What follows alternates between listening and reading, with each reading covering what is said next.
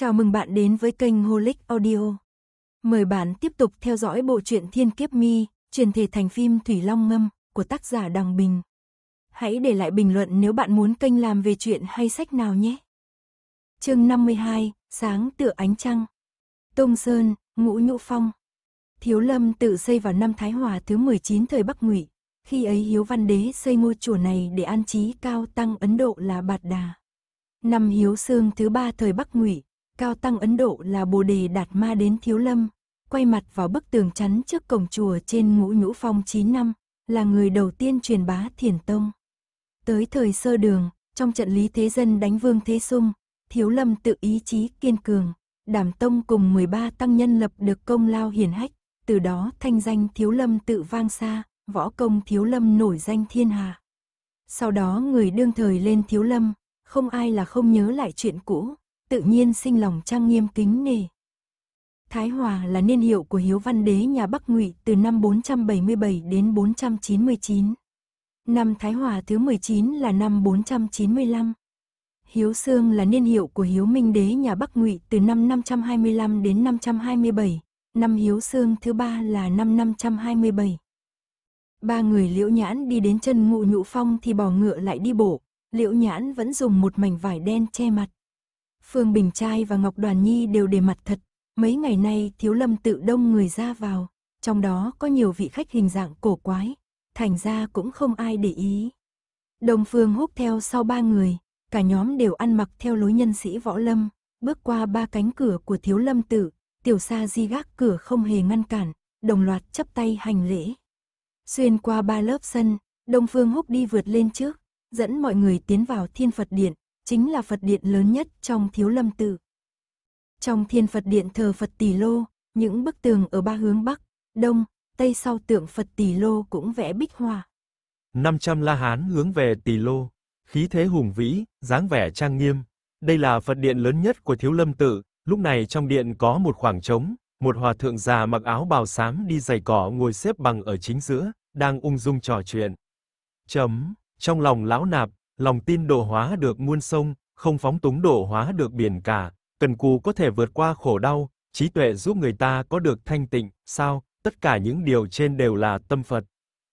Sao, trích, Đông Phương húc chen giữa đám đông, nhìn quanh bốn phía. Đây là đại tuệ thiền sư, không biết ông ấy đang nói gì. Ngọc Đoàn Nhi tò mò nhìn hòa thượng đầu chọc kia. Vì sao bọn họ không mọc tóc? Phương Bình Trai cũng giáo giác nhìn quanh, thuận miệng đáp. Hòa thượng rất bận rộn, có tóc rất phiền phức. Cô cảm thấy trong mấy người họ, ai có thể lên làm phương trưởng? Hắn chỉ mấy người ngồi trước đám đông, chính là Đại Thức, Đại Thành, Đại Bảo, Phổ Châu và ba tiểu sa di. Ngọc Đoàn Nhi liếc nhìn, chỉ vào bóng lưng thượng sư Phổ Châu. Hắn. Phương Bình Trai bật cười ha hà, cây quạt đỏ phất phơ. Tại sao? Ngọc Đoàn Nhi khẽ thì thào. Bởi vì hắn có tóc. Phương Bình Trai ho một cái. Ta cũng có tóc. Ngọc Đoàn Nhi nhíu mày. Ngươi đâu phải hòa thượng. Nàng kéo kéo tay áo liễu nhãn, chỉ đại tuệ thiền sư ngồi chính giữa. Ông ấy đang nói gì? Liễu nhãn lắc đầu, hắn không tin Phật, không biết đại tuệ đang nói gì. Phương Bình Trai vung cây quạt đỏ. Ông ta đang kể một câu chuyện, trong Kinh A Hàm có viết một đoạn đối thoại giữa Phật Tổ Thích Ca Mâu Ni và Đế Thích Thiên. Đế Thích Thiên hỏi Phật, Vân Hà độ chư lưu, Vân Hà độ đại hải. Vân Hà năng xá khổ, Vân Hà đắc thanh tịnh. Sau đó Thích Ca Mâu Ni trả lời, tín năng độ chư lưu, bất phóng giật độ hải. Tinh tiến năng độ khổ, trí tuệ đắc thanh tịnh. Ngọc Đoàn Nhi cắt ngang lời hắn. Ngươi nói ta nghe cũng không hiểu. Phương Bình Trai thở dài. Ta cảm thấy, thật ra thì dù ta có giải thích rõ ràng hơn nữa, cô cũng không. Ngọc Đoàn Nhi trừng mắt, Phương Bình Trai sặc một ngụm khí. À, thật ra thì đế thích thiên đang hỏi Phật tổ, làm sao độ hóa con sông? Làm sao độ hóa biển cả? Làm sao để hết khổ đau? Làm sao có được thanh tịnh? Sau đó Phật tổ trả lời rằng, tin Phật có thể độ hóa con sông, không phóng túng có thể độ hóa biển cả, chăm chỉ không buông thả bản thân sẽ rời xa khổ đau, người trí tuệ sẽ có được thanh tịnh. Cô có cảm thấy rất nhàm chán rất vô nghĩa không? Đây chẳng phải là nói nếu thấy khổ chính là vì mình không đủ chăm, nếu lòng không thanh tịnh chính là vì thiếu đi trí tuệ sao? Lẽ nào người vô cùng chăm chỉ sẽ không cảm thấy đau khổ? Thật ra lòng người không thể thanh tịnh, phần lớn cũng vì người đó quá thông minh.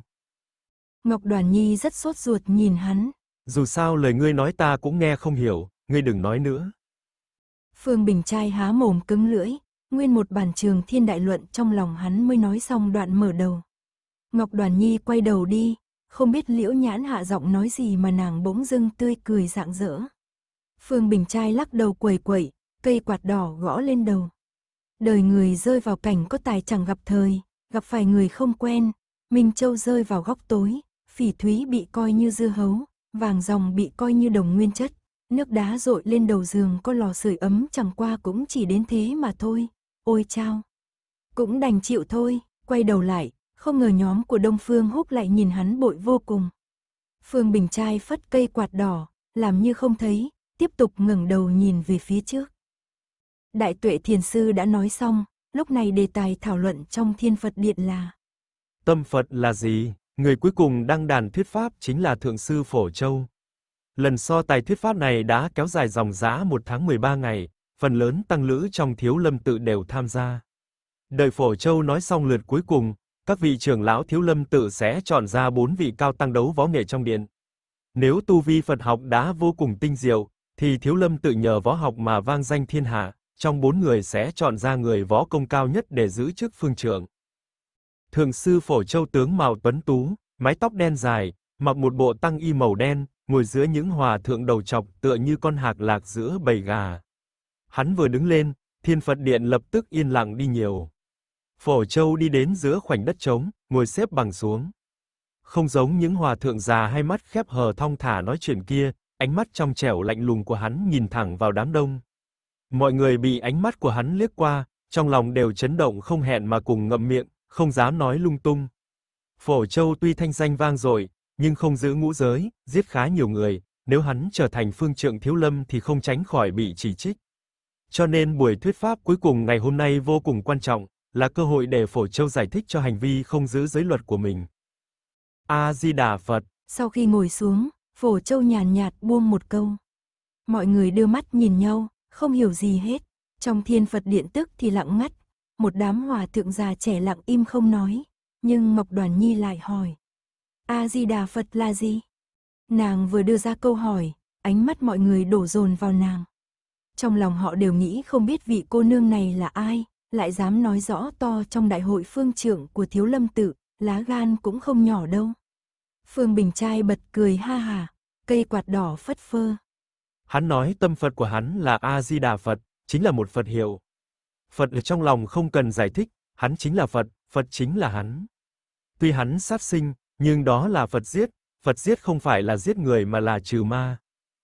Đang lúc yên tĩnh, Phương Bình trai cũng không cất cao giọng nhưng ai nấy đều nghe, nghe rồi thì âm thầm dùng mình ớn lạnh. Câu nói này tràn đầy khiêu khích, người này không có ý tốt. Ngọc Đoàn Nhi nhíu mày liễu, đang định nói, lại nghe thượng sư Phổ Châu cất giọng lạnh lùng. Sống cũng chưa từng sống, chết cũng chưa từng chết. Vạn sinh vạn vật đều là như vậy, người đời tự cho là sống, với vạn vật có thật sự là sống không? Người đời tự cho là chết, với vạn vật có thật sự là chết không? Sống không phải là sống, chẳng qua là thứ mà người ta gọi là sống, chết không phải là chết, chẳng qua là thứ mà người ta gọi là chết. A-di-đà Phật. Nghe Thượng sư Phổ Châu nói ra câu. Sống không phải là sống, chẳng qua là thứ mà người ta gọi là sống, chết không phải là chết, chẳng qua là thứ mà người ta gọi là chết. Hòa thượng lớn nhỏ ngồi xếp bằng trên đất đồng loạt chắp tay, miệng đọc Phật hiệu, cũng không biết họ tán thành hay phản đối. Phương Bình Trai lắc đầu quầy quậy, ăn nói nhảm nhí, nếu sống không phải là sống, chết không phải là chết, sinh tử đối với vạn vật trên đời thật ra không khác gì nhau, vậy xin hỏi Phổ Châu Hòa Thượng, giết người có tội gì? Nếu lời lẽ hoang đường của ngươi có người tin phục, thì chẳng những Hòa Thượng giết người không có tội, mà ngàn vạn người trong thiên hạ giết người cũng không có tội sao? Nhảm nhí vô cùng, ăn nói quàng xiên. Hắn luôn ăn nói rông dài, lần này không ngờ lại nói năng lý lẽ hùng hồn, mạnh mẽ khí phách, khiến người nghe không khỏi gật đầu khe khẽ. Tuy nhìn thấu sinh tử là do lòng dạ, nhưng nếu nói sinh tử không khác gì nhau nên giết người không có tội, thì khó làm người ta phục. Ngọc Đoàn Nhi nhìn Phương Bình Trai, khẽ mỉm cười, hiển nhiên những lời này của Phương Bình Trai đã nói hộ tiếng lòng nàng, khiến nàng cực kỳ vui vẻ. A-di-đà Phật. Giọng phổ châu vẫn rất lạnh lùng, không hề lung lay. Giết người chính là giết người, sinh tử chính là sinh tử. Phương Bình Trai nghe xong suýt sặc, hòa thượng nói chuyện quả nhiên lòng vòng, người bình thường không sao nghe hiểu nổi. Nếu, Hắn còn chưa nói hết câu thì một lão tăng ngồi dưới đất bỗng mở miệng. giết người chính là giết người, sinh tử chính là sinh tử, vậy cớ sao phải giết người, cớ sao lại nói sinh tử không phải sinh tử? Giọng ông ta vang như chuông, hỏi ra một câu khiến mọi người sinh lòng kính nể, hiểu rằng đã bàn đến thiền cơ. Phổ Châu nhìn sang lão tăng kia, nhưng ông ta nhắm mắt, không nhìn vào mắt hắn. Phổ Châu lạnh lùng đáp. Giết người chính là giết người, giết người là có tội, tiến một bước là giết người, lùi một bước là không giết người. Một kẻ sắp giết người, ta lùi một bước không giết kẻ ấy, thì người bị kẻ ấy giết có phải đã bị ta giết không? Hay không bị ta giết? Nếu ta tiến một bước giết kẻ ấy, thì tội giết người là tội của ta. Hay là tội của người khác? Sinh tử chính là sinh tử, sinh tử cũng không phải là sinh tử. Hắn sống hắn chết, ta sống ta chết, trời đất tuần hoàn, không cần quan tâm.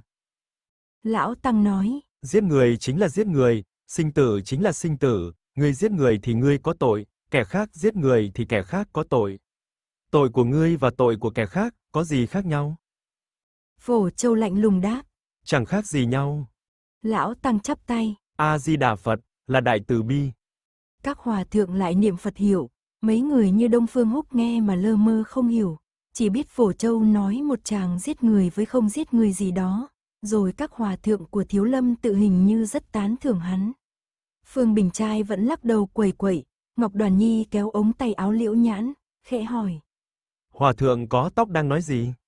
Liễu Nhãn nhìn đăm đăm vào thượng sư Phổ Châu, một lúc lâu sau hắn mới hở hững đáp. Hắn nói hắn có thể giết người, có thể không giết người, nhưng người đời chung quy sẽ giết nhau, mà giết nhau thì có tội nghiệt. Hắn tình nguyện giết ác nhân để bớt đi những người vô tội phải chết, hắn nguyện ý thay ác nhân gánh tội giết người để diệt trừ tội ác, đây chính là tâm Phật của hắn, lòng từ bi của hắn. Ngọc Đoàn Nhi nhíu mày. Hòa thượng này là người tốt, nhưng sao cứ mở miệng là đòi giết người? Ta ghét giết người. Phương Bình Trai thở dài. Giết người giết người, lẽ nào muốn trừ ác không còn cách nào khác ngoài giết người? Ngươi là hòa thượng, ngươi không thể độ hóa ác nhân sao? Ngươi không thể cảm hóa thế gian sao? Ngươi không thể khiến gian tà hướng thiện, trộm cướp rửa tay gác kiếm sao? Ngươi không thể khiến kẻ trộm con hát biến thành thiện nam tín nữ sao? Thiếu lâm tự thanh danh lẫy lừng, lẽ nào hòa thượng trong miếu chỉ biết giết người? Lời này vừa thốt ra, hòa thượng lớn bé trong thiếu lâm tự đều mở mắt, đồng loạt nhìn về phía Phương Bình Trai, tuy không ai nói gì, nhưng cũng khiến người ta dùng mình sợ hãi. Nhưng Phương Bình Trai không hề run sợ, cây quạt đỏ phất nhẹ, áo vàng trói mắt, đứng giữa đám người vô cùng nổi bật. Liễu nhãn bình thản liếc nhìn hắn, người này rốt cuộc là sinh ra đã thích tranh cãi dài dòng, hay là đến đây với mục đích riêng là làm khó Phổ Châu. Phổ Châu cũng chuyển sang nhìn Phương Bình trai. A-di-đà Phật. Hắn vẫn bình thản nói câu này, trái lại một tiểu hòa thượng cấp 3 đứng bên cạnh đã nổi giận. Cả đời đại tuệ sư thúc độ hóa 331 tên ác nhân, đại bảo sư thúc vân du bốn phương, khuyên 5.499 người hướng thiện. Đại thức sư thúc đi cùng bệnh nhân bị cùi, lấy lòng đại từ bi độ hóa 24 người có được đại trí tuệ. Phổ Châu sư huynh đã vung kiếm giết 49 người, không kẻ nào không mang tội ác tài trời. Thiếu lâm tự tuy thi thoảng có kẻ xấu xa, nhưng chưa bao giờ thẹn với danh tiếng lẫy lừng mấy trăm năm qua. Chuyện tranh đang hot. Ồ, mấy câu này của ngươi rất có vấn đề, tiểu hòa thượng nhà ngươi rõ ràng là mang lòng bất mãn với đại thành hòa thượng, bằng không tại sao ngươi ca ngợi hết một lượt đại tuệ, đại bảo, đại thức, phổ châu, lại chỉ bỏ qua đại thành. Đều là hòa thượng ăn chay niệm Phật quét sân lau bản đun nước đốn củi ăn không ngồi rồi trong thiếu lâm tự, thế mà cũng minh tranh ám đấu hục hạc với nhau, thật là đáng sợ, đáng sợ ghê á. Phương Bình trai phe phẩy quạt cười ha ha, tiểu sa di cấp 3 kia năm nay mới 17, nổi giận đùng đùng, bỗng đứng phát dậy chỉ vào mũi Phương Bình trai. Ngươi, ngươi năm lần bảy lượt khích bác ly gián, sỉ nhục thiếu lâm tử của ta là có ý đồ gì? Ta thích gì thì nói đó, con người ấy mà, cuộc đời ngắn ngủi mấy mươi năm, dù sao cũng nên sống thuận theo lòng mình, thèm cái gì thì ăn cái đó, muốn mắng người thì mắng người, muốn giết người thì giết người, muốn háo sắc thì háo sắc, muốn đánh giám thì đánh giám mới thú vị. Phương Bình trai bước vào vòng tròn trống do mọi người chừa ra, thong thả bước đi, thần sắc tự nhiên như thường. Người xuất gia trông chẳng có gì thú vị, tự cho là tuyệt dục vô tình, đầy bụng từ bi lại nổi giận, đây cũng là một tư vị khác lạ, người thấy sao? Một tên ngông cuồng ngạo mạn. Trong đám đông vây xem có một đại hán áo xanh đứng lên. Ngươi là ai? Lại dám nói nhảm trước mặt các vị cao tăng thiếu lâm tử. Nơi này là đất Phật môn thanh tịnh, không phải chỗ cho ngươi nói chuyện.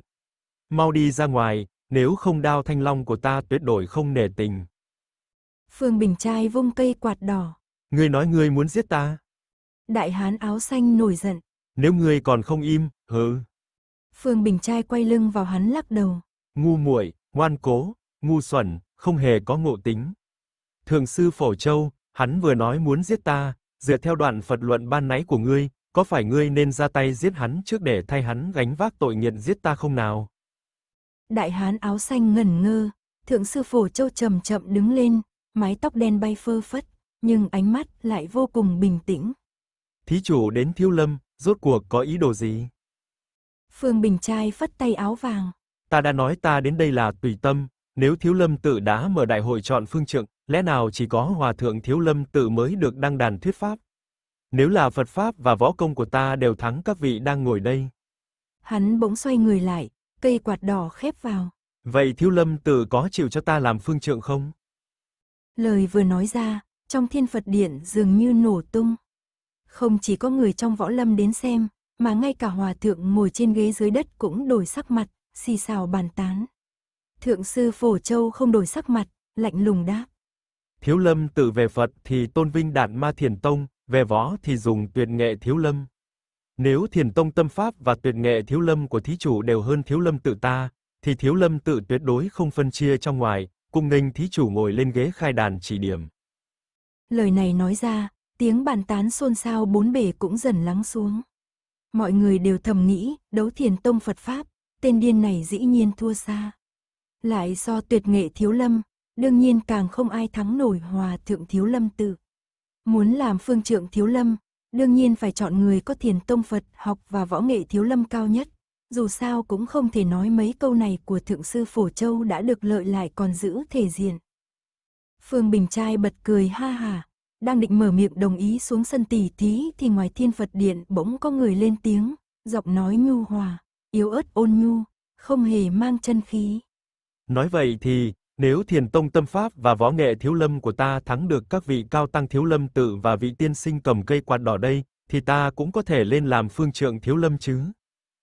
Câu nói vừa rồi ẩn chứa ý cười, không mang chút thù địch nào, cho thấy một tâm khí ôn hòa thậm chí còn có phần ung dung. Thượng sư Phổ Châu và Phương Bình Trai đều quay đầu lại, chỉ thấy đám đông bên ngoài thiên Phật điện đang nhao nhao tránh đường tạo ra một lối đi. Đoàn người thong thả bước vào trong điện, người dẫn đầu có dung nhan non nớt tú nhã, tuổi vẫn còn quá trẻ, ấy vậy mà khi bước vào trong điện lại khiến mọi người đổ dồn ánh mắt về phía mình. Hắn mặc một bộ áo lam nhạt gần như trắng, tay trái thắt một sợi dây tơ mảnh màu xanh lục, trên đó không đeo gì cả, nhưng sợi dây mảnh mai màu xanh lục này cùng với sáu kiếm sĩ mặc áo màu xanh ngọc sau lưng hắn lại khiến người ta nảy ra biết bao suy nghĩ chấn động. Giữa khung cảnh yên tĩnh, chợt có người khẽ hô. Huyền Úc Nguyệt Đáng.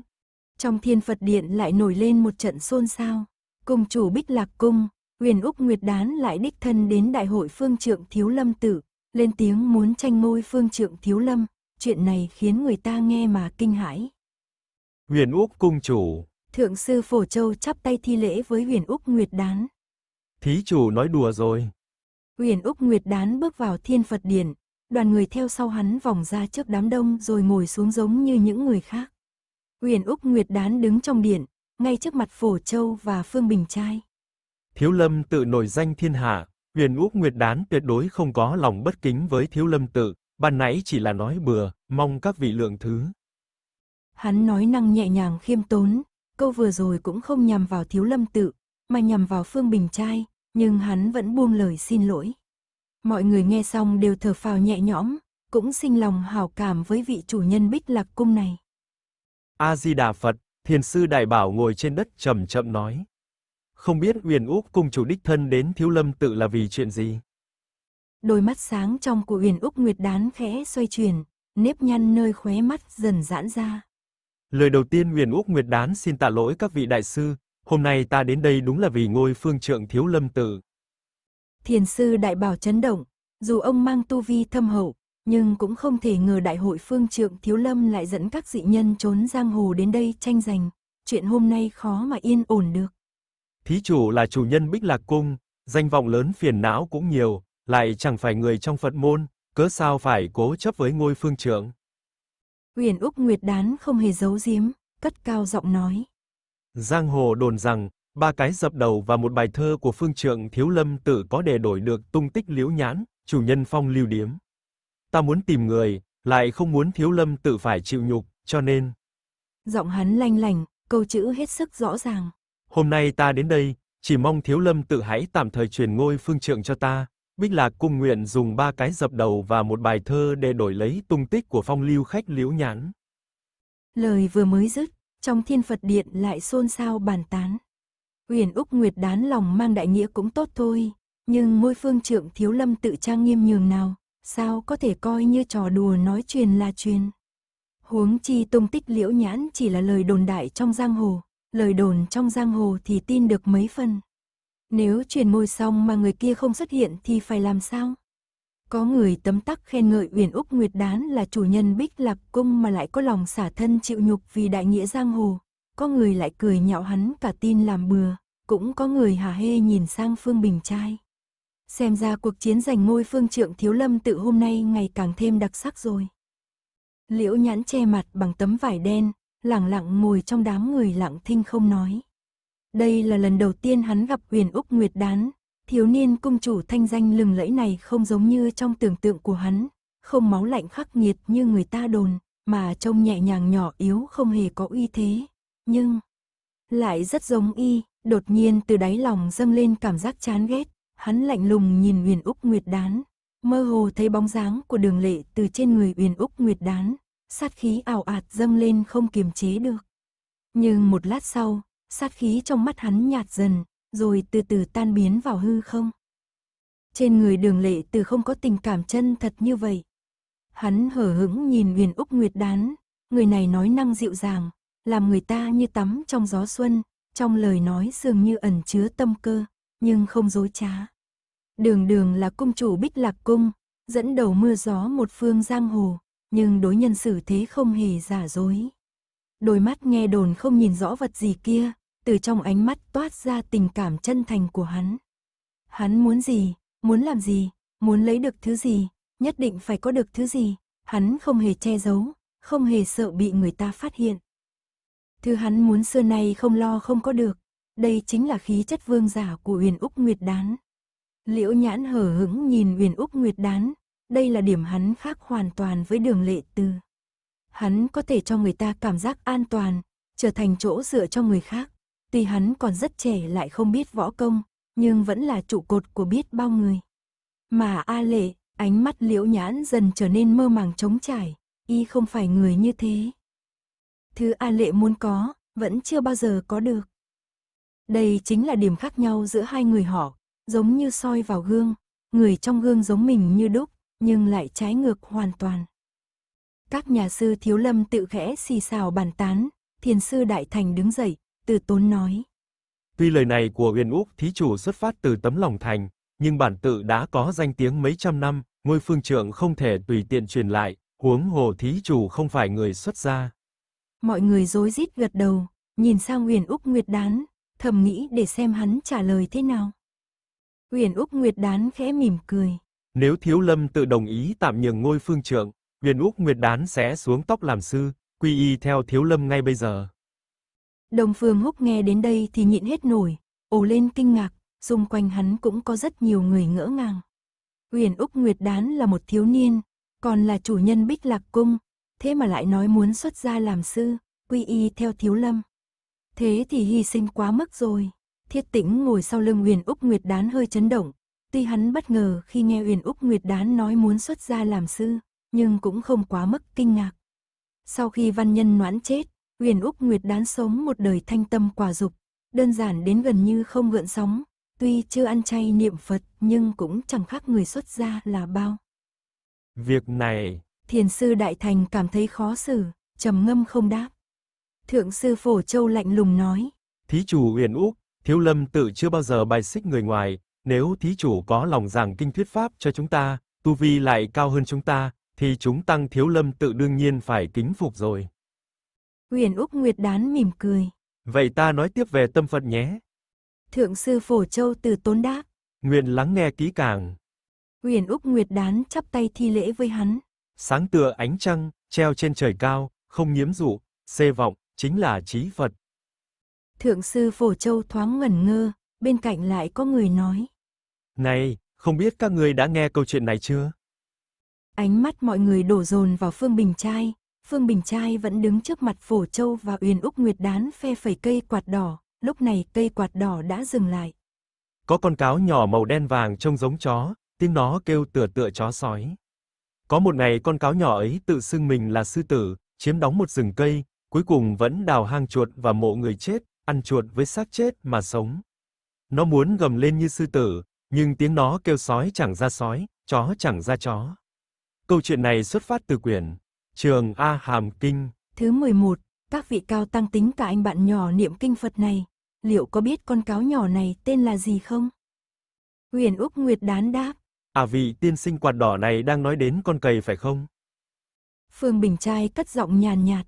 Cầy tự xưng là sư tử, độc bá một khoảnh rừng trống, muốn gầm lên như sư tử nhưng chỉ kêu ra được tiếng cầy.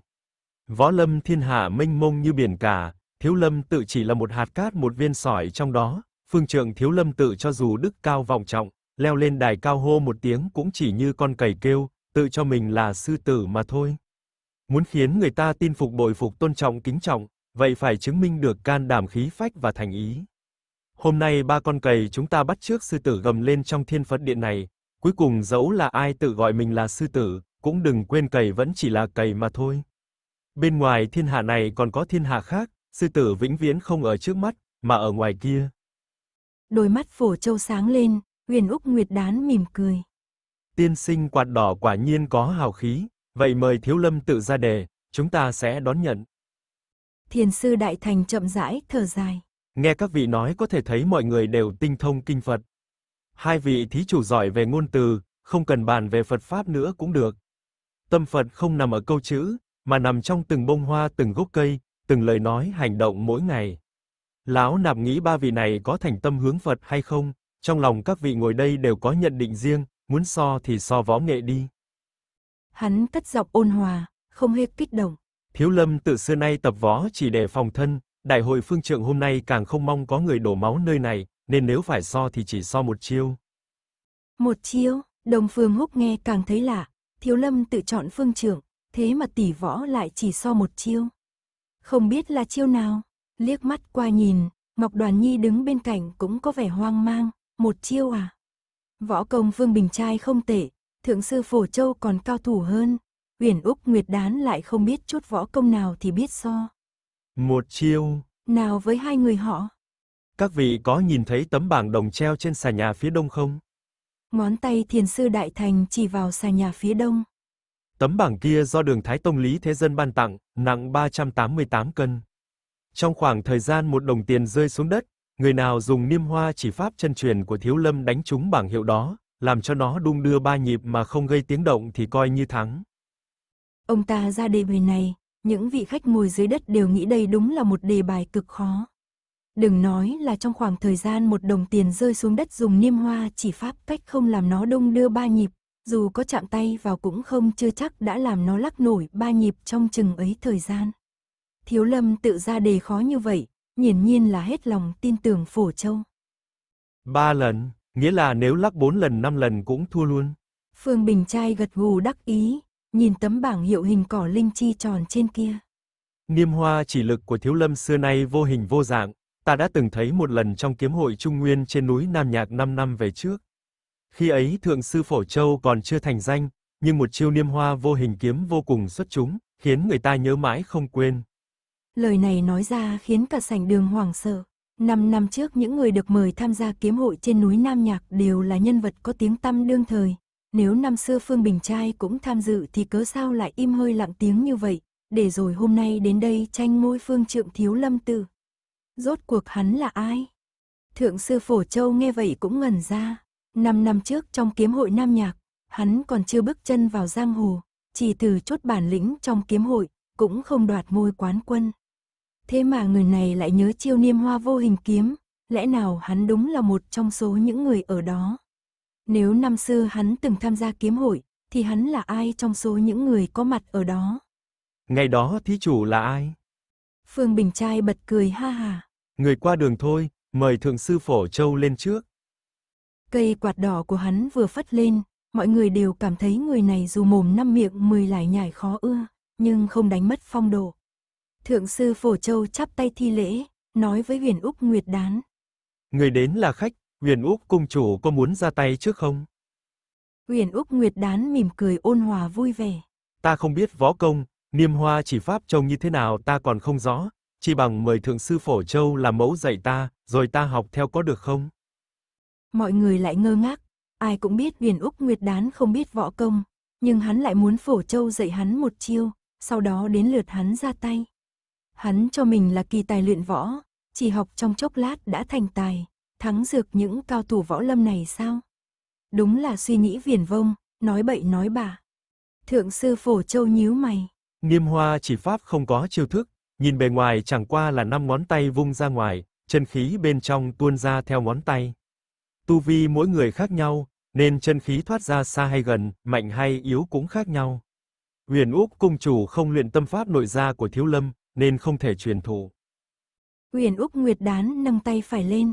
Hóa ra chỉ cần vung tay ra ngoài là được, vậy xin thượng sư Phổ Châu nói cho ta biết tấm bảng đồng kia nằm ở đâu.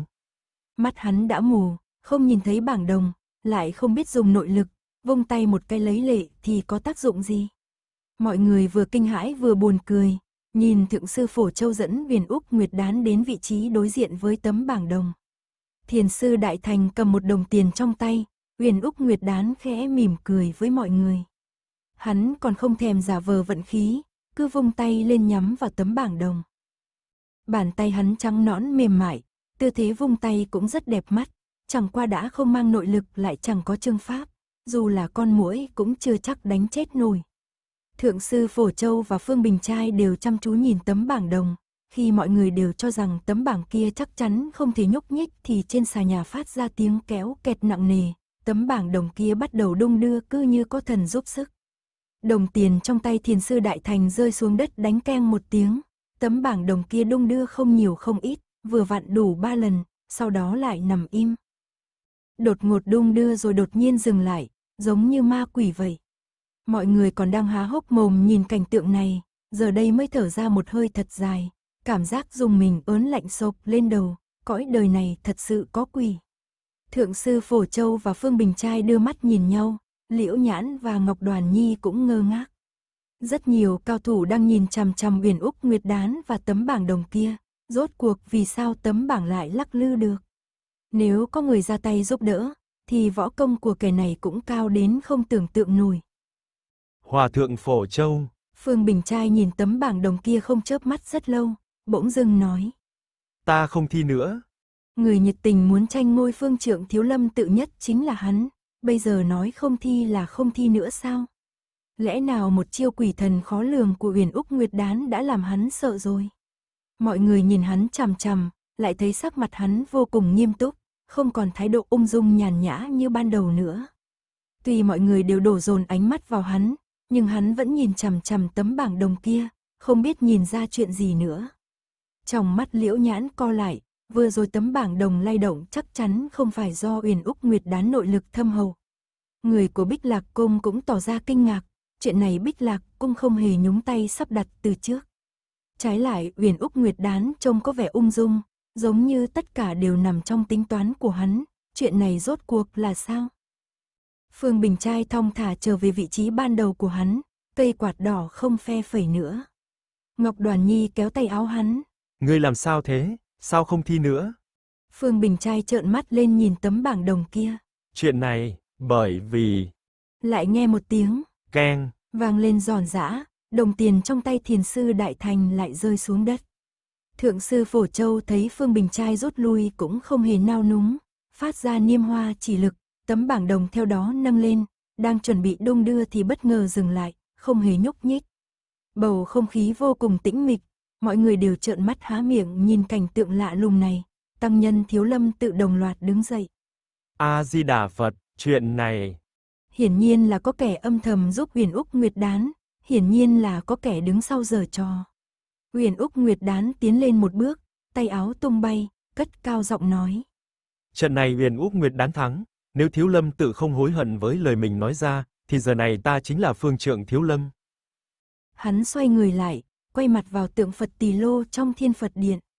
Ai muốn nhận ba cái dập đầu của huyền Úc Nguyệt Đán thì mời bước ra đây.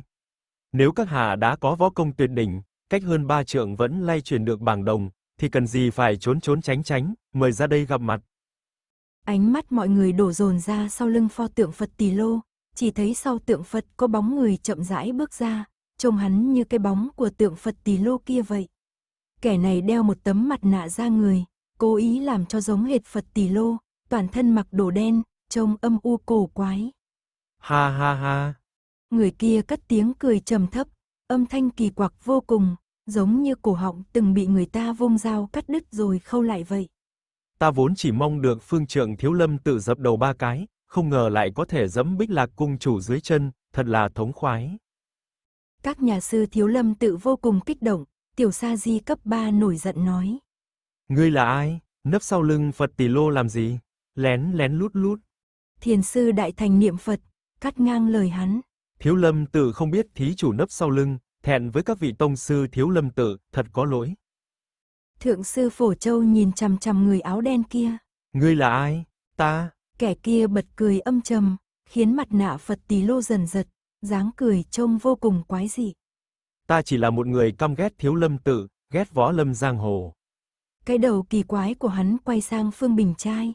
Lục đệ, đã lâu không gặp, ngươi vẫn thông minh như xưa. Nếu ngươi ra tay, ta sẽ tuyệt đối không ngăn cản.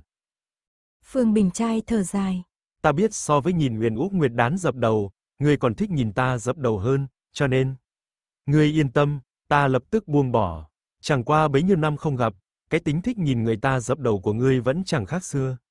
Không phải lục đệ ta thích nói chuyện giật gân hát nước lạnh lên đầu các ngươi, có điều đời người tuy cần sống thuận theo lòng mình, nhưng cứ tự do quá đà, làm sằng làm bậy mơ mộng cả ngày, rồi sẽ có lúc lật thuyền.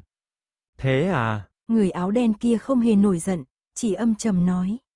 Lời như vậy từ miệng ngươi nói ra, đúng là hoàn toàn lạc quẻ. Ánh mắt hắn chuyển sang nhìn Huyền Úc Nguyệt Đán. Dập đầu đi, dập đầu xong thì đi bảy bước làm một bài thơ cho ta, bằng không. Hắn lạnh lùng nói. Ta tung một trường giết ngươi. Dập đầu cũng được thôi. Huyền Úc Nguyệt Đán thong thả đi đến trước mặt người áo đen. Xin các hạ hãy nói ra tung tích của liễu nhãn. Người áo đen ngửa mặt lên trời cười lớn. Ha ha ha ha. Đó là báo ứng của y.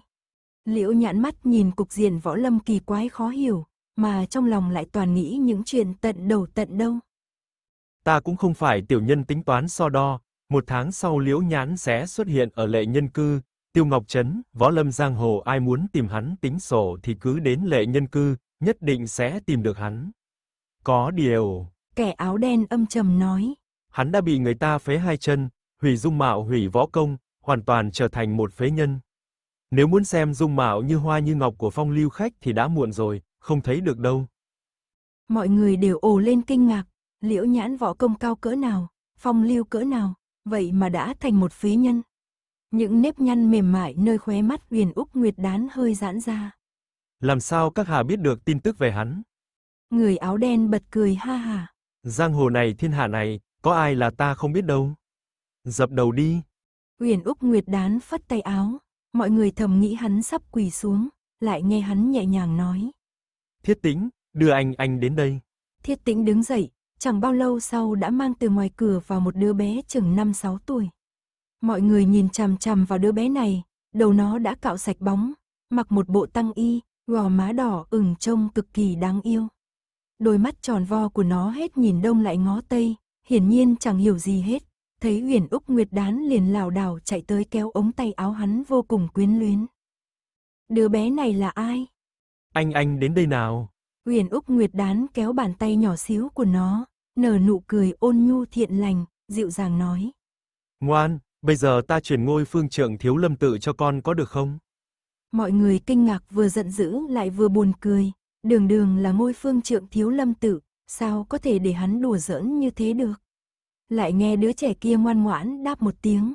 Vâng, chấm. Thế là Huyền Úc Nguyệt đán dắt tay nó quỳ xuống trước tượng Phật Tỷ Lô, dập đầu mấy cái thật kêu, sau đó chỉ vào người áo đen. Anh anh ngoan, dập đầu ba cái với quái thúc thúc này nào. Đứa bé kia khiết sợ nhìn người áo đen tướng mạo cổ quái, ngoan ngoãn quỳ xuống dập đầu ba cái. Huyền Úc Nguyệt đán xoa đầu nó. Đọc một bài thơ cho vị quái thúc thúc này nghe. Anh anh túm thật chặt ống tay áo của Huyền Úc Nguyệt đán, ngoan ngoãn cất giọng non nớt lên đọc. Ngỗng ơi là ngỗng ơi, ngửa cổ ca với trời, lông trắng nổi nước biếc, chân đỏ đạp sóng bơi. Huyền Úc Nguyệt đán mỉm cười nói. Rất tốt. Trong thiên Phật điện chìm vào yên tĩnh, bỗng Phương Bình trai bật cười ha hà vô cùng vui sướng, cây quạt đỏ phất phơ. Ha ha ha, đúng là hay không thể tả, hay không thể tả. Theo tiếng cười to của hắn là một chàng cười vang, mọi người vừa hoảng sợ vừa buồn cười. Thơ của tiểu phương trượng thật là khiến người ta mở mang tầm mắt, giờ khóc giờ cười. Ngọc Đoàn Nhi níu tay áo liễu nhãn, cười đến mềm nhũn cả người. Tiểu phương trượng thiếu lâm tử. Tâm trí liễu nhãn đang lơ lửng trên mây bị tiếng cười của cả sành đường từ từ kéo về, bất chi bất giác khóe miệng cũng cong lên theo. Người áo đen chừng mắt nhìn Huyền Úc Nguyệt Đán, dường như không dám tin hắn sẽ làm ra chuyện này. Đứng hình rất lâu, hắn cũng bật cười ha hả. Bích Lạc cung chủ, hay lắm Bích Lạc cung chủ. Một tháng sau ở lệ nhân cư Tiêu Ngọc Trấn, ta chờ cung chủ chỉ giáo một lần nữa. Hắn phất tay áo, xài bước ra khỏi thiên Phật điện trước những cặp mắt nhìn chằm chằm của mọi người, không coi ai ra gì hết, tay áo phất bụi trần, nhưng không ai cản hắn lại. Liễu nhãn chớp chớp mắt, lúc này thần chi hắn mới đột ngột thanh tình.